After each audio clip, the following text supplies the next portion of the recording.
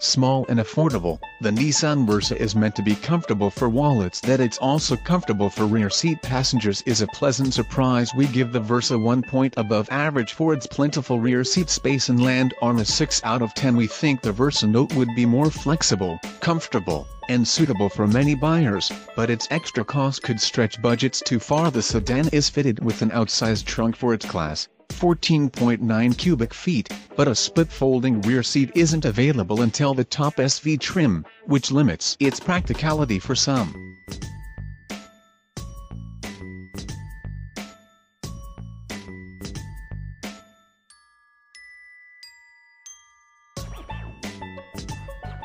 The Versa Note's rear hatch opens up to 18.8 cubes with the rear seats up or 38.3 cubes with the seats down. A Divide-N-Hide adjustable floor opens for small items below the load floor, or gets out of the way to help store tall items within the hatch. The front seats will be suitable for most adults, although not entirely comfortable for long distances. Rear seat riders get 37 inches of leg room in the sedan, or 38.3 inches in the hatchback, which is enough for 6-footers to ride behind other 6-footers.